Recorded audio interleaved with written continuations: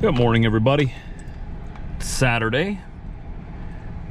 Today we're spending another day at the land here, trying to get some more clearing done. We got this done last time already. I think we made some pretty good progress. I'm gonna see how much further we can get. Oh, I'm actually pretty uh, surprised. I thought that there would still be a lot more snow left here. There's nothing. It is a hot day today, so whatever is left is going to be gone. I see just a little bit left, just a few speckles there by the door. But other than that, everything's looking in order.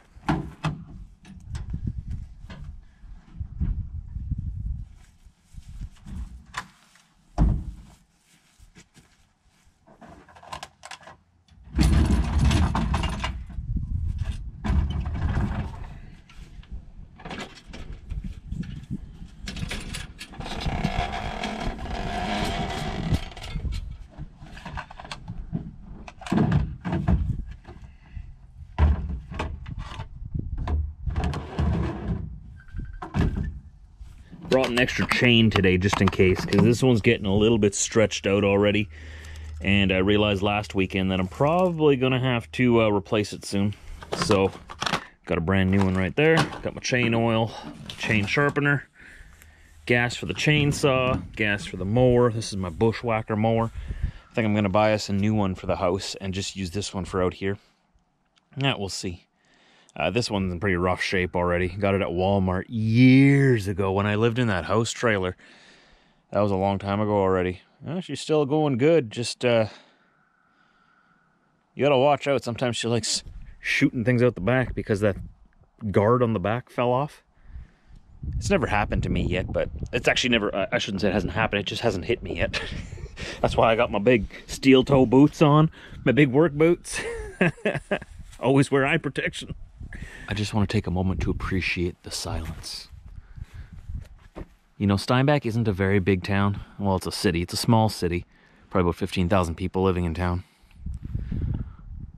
But uh, it's not that noisy, but when you come out to this place and you just sit and listen, you realize how noisy it actually is because this this is beautiful peace and quiet.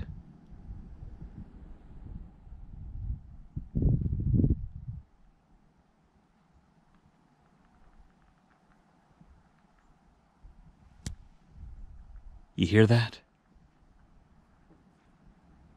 Exactly.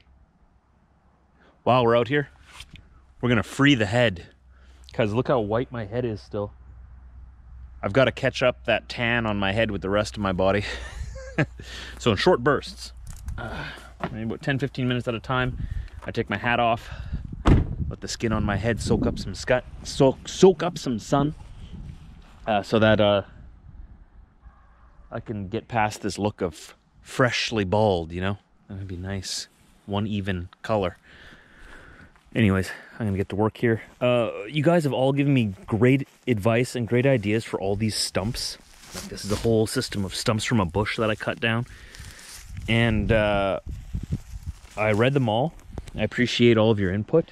As I go about this process of developing this land slowly, uh, I'm going to always be open to advice and uh, listen to the people who have done this before because this is my first time ever building a house. I hope it's my last time too. We just want to build this house, but we want to get it right. We want to get it perfect. We want it to be the house we we die in, that we retire in. We want to stay here for the rest of our lives. So we want to make it just the way we want it. And we want to put some good thought into it too so that we don't just build something and you know, a year down the road, oh shoot, I wish we would have thought of this. We're also taking our time because of finances. I don't want a big mortgage. I want to have a considerable amount, a good chunk, if not maybe the whole thing, but let's not get too crazy, you know. You never know, might win the lottery.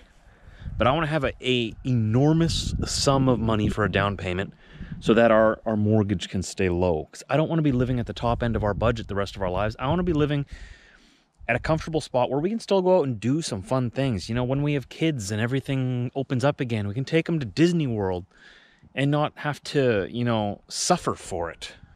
I want to be able to go on trips and go camping, spend money, take my kids fishing, you know, put them through sports, put them through hockey if that's what they want to do because hockey's expensive. Hockey's expensive to put your kids through. And I want to be able to have the money to do that for them. But I also want to have a nice, good home for them to come home to, feel safe in, feel comfortable in, and be able to enjoy nature like this. So the plan for now is to build in a minimum of five years or so. It's going to be a little while. That's why I'm taking my time with this. I'm slowly clearing this whole area myself here.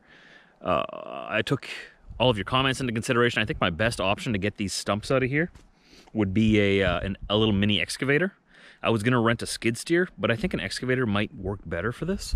Just because, you know, all of these big bumps, I got to dig in there. And I don't want to tear everything up. I just want to get the stumps out, right? And it's just like bushes like this. So I'm going to cut them all down, get this place all opened up, get a little mini excavator in here, dig up all of these big roots, level it off the best I can, and uh, we'll take it from there. I want to get a driveway brought in. I want to get some driveway stone for this here. Uh, get nice gravel in because this driveway is going to stay exactly where it is. And uh, our house is going to be right behind me here. Probably, this will probably be right about around here. And the garage will probably be right around where the pickup and camper is right now in that area. Uh, but for now, I'm going to bring gravel in, get this driveway nice and packed, get a big packed in gravel area here for the camper to sit on in the meantime. Later on, the garage is going to go on top of it anyway, so it doesn't matter if the grass isn't growing there. This is going to be our front yard. Our front yard is going to be uh, no dogs allowed. We're going to have a dog area fenced off in the back, in the bush there. Once again, depending on finances, depending on money, I'd like to go all the way, like a big, big section of this bush fenced off, uh, uh, several acres at least, so that we can, uh, you know, just let them loose to run off into the bush and we don't have to worry about them running onto the neighbor's yard. It's a deterrent for wildlife. I know wildlife, if they want to get in, they're going to get in anyways. But if we have that six foot uh, chain link fence, just like we have at our house in, uh, in Steinbach, if we have that going around our whole property here, or not the whole property, but, you know, several acres of it, if we can afford it, uh, you know, when a bear comes up to that fence, you know, he's got a decision to make. Is it worth it to climb over, or do you just, huh, oh, I'll just go this way then, right? Does something a little bit. It will deter neighbor dogs from coming on our property. It'll it'll stop our dogs from leaving our land. Things to consider, right? We have lots of years to make sure we get it just right. You can tweak this and tweak that. Take this plan, change it a little bit, maybe build on this plan over here, so that by the time we build, the house for us is going to be perfect. Exactly what we wanted, exactly what we want to live in. You know, it's going to be dog friendly, built around uh, dogs being in the house, easy to clean. Uh, there's going to be a dog bath area in the mud room so that when the dogs come in on a muddy spring day, we can wash them off right there, dry them up, then let them into the house. Obviously, all the floors in the house, we'll keep in mind that we have dogs. They'll probably all be, uh, well, we'll see what we come up with, but they'll be like hardwood or like laminate flooring type deal, so it's easy to clean. But anyways, I'm uh, I'm going on rabbit trails here. I want to start working. We're gonna start pushing this way. So uh, see how far that way we can get today. This went pretty quick. This I got done, this whole area here, I got done in just uh, about two hours. Probably a little less than that.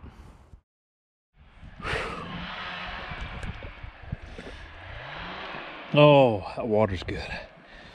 So, I think we're gonna call it a day for today or an afternoon. Spend a few hours here. Uh, cleared out behind here quite a bit.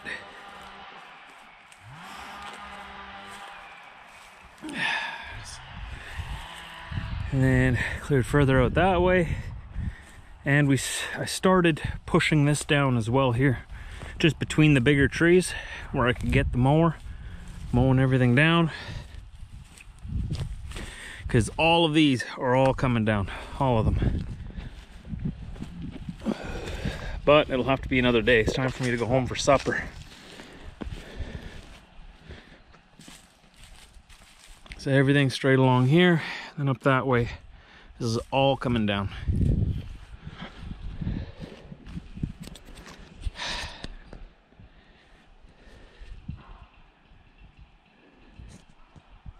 a lot of work, but it was a good workout. Got the heart pumping. Probably burnt more calories than I took in today, so that's a good thing. Probably walked about 10 miles back and forth and back and forth. and we had pushed it back to about here last time, so all of this to that tree line over there now is what I did today. First mowed it down and cut down all these bigger trees that obviously the mower couldn't take.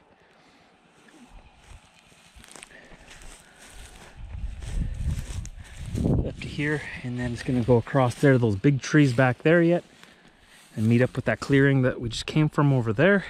And this is where the house is going to be. Right in front of us here. Facing that way, with big windows facing that way. And then our backyard will be in the trees.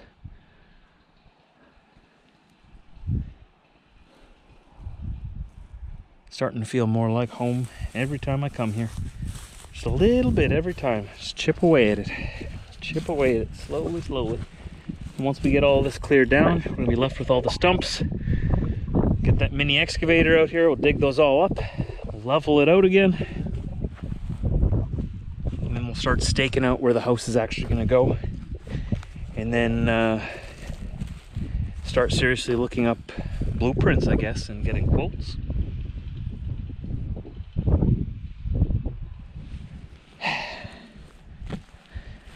This is what I feel fulfilled doing.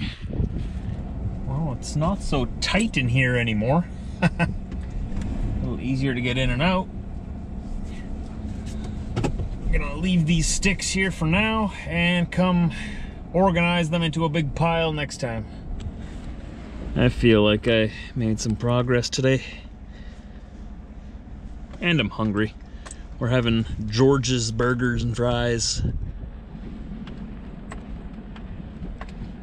It's a popular local, I think it's a local restaurant. I don't know, it's a chain in Winnipeg. They just expanded to Steinbach. Try it out. I can almost picture the house here already. Almost. Once this whole area is completely cleared, and we can start putting stakes in the ground where we want it, it's gonna real come, really come together. This is where our kids are gonna grow up. once they come along, we're still trying. Hopefully this month. They're to miss this whole process of developing it, but hopefully they enjoy it. They can look back on these videos and see all the work we put into it.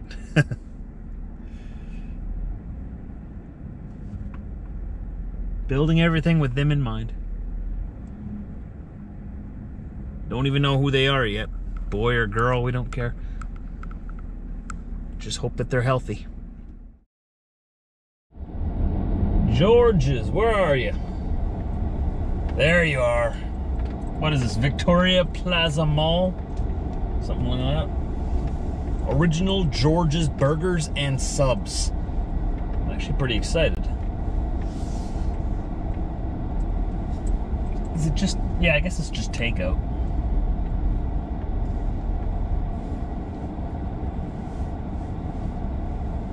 All right. Got the goods. Man, I'm sore. I worked a little harder than I thought I did. Oh, boy. You'd think I'd be a little more used to that, but apparently not. I'm excited to try it out. I'm hungry now. I built up quite the appetite today. Weasel. So we had our George's burgers and fries yesterday. We had uh, what are they called? Fat Boys. Yeah. It's pretty much just a it's a huge burger with uh, we got Greek fries along with it. So it's almost like a poutine, but instead of cheese curds, it had feta in there And with and tomatoes with the fries, Greek fries. It was actually pretty good, but you were saying that they're better in Winnipeg. Yeah, Winnipeg locations are definitely like the St. Mary's location is well established. I think that was the original actually. Mm-hmm. Much, much better. But this tasted good. It's just that their patties were a bit thin and They marked our burgers wrong, but made them right, but opposite markings. Mm. And they forgot our tzatziki sauce with our fries. So I was a little bit unimpressed. I called and they sounded super confused. They were nice, but super confused, so disorganized. So they just opened here, so all the employees are probably brand new. Yeah, and they probably don't understand the food because most people here know Mennonite food. They don't know Greek food. So- Yeah. Well, Greek diner food. So So they they'll get it going. They're just uh, getting the they're getting the hang of things. getting the hang of things The there. lay of the land. But the food was still good. But like I said, she gets extra pickles on her burger because she's gross. I'm awesome. One of those.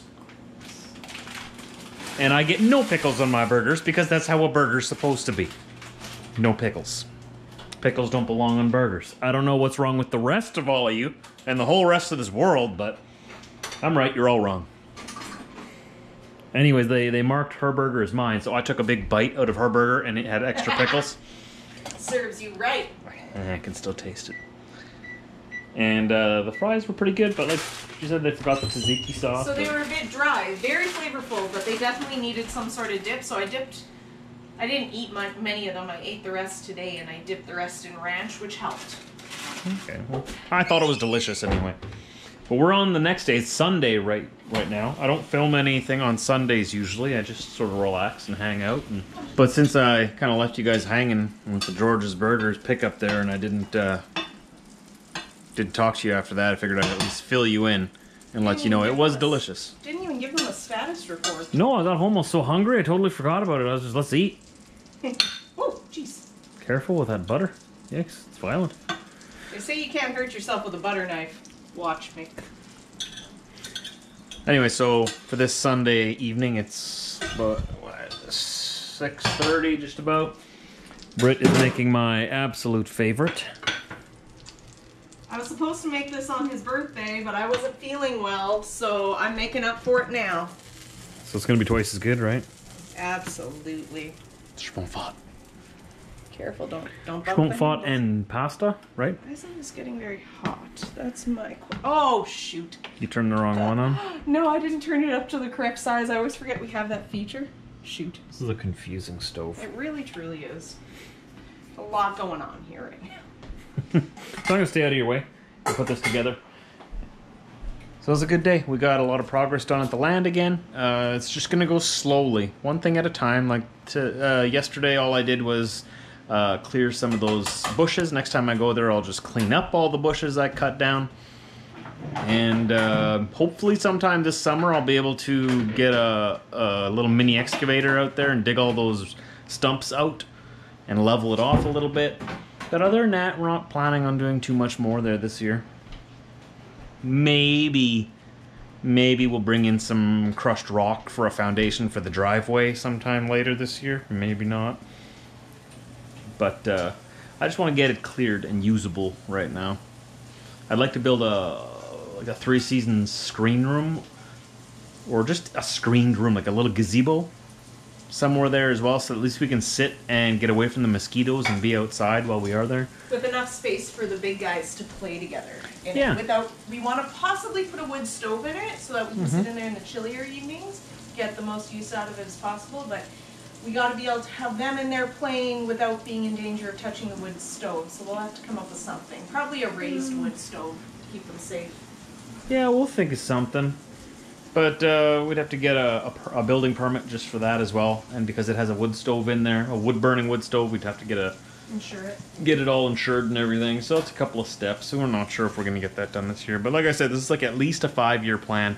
It might stretch out to be longer because if we if, we don't end up having kids for a few years, we don't need any more space than this. This is all we need. We can take our time then. But if we end up having like a, say a set of twins and then another set of twins or just a set of twins and another one, well, then our days in this little house are numbered and we're going to have to set a more of a definitive date when our build is going to be done so that we can have the space we need when we need it. But until then, stay tuned.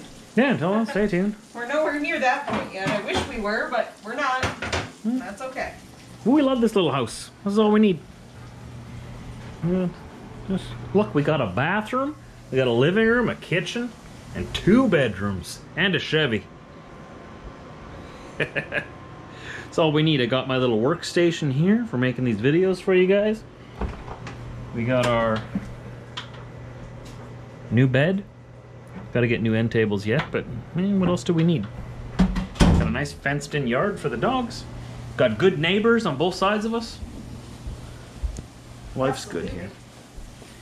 I'm not complaining. I love this little house. It'd Be Mhm. nice to have a bit more counter space, but I make it work. Yeah. But it's perfect for us right now. So, Mhm. and until we have more than one kid, uh, we don't have to rush building. So we'll see what happens. We'll see what happens. I'm gonna keep on with the Lotto Max. We'll see. Our long-term plan, winning the lottery. yeah, I think that's most people's long-term plan. We'll see you guys tomorrow. Uh, tomorrow we go back to work.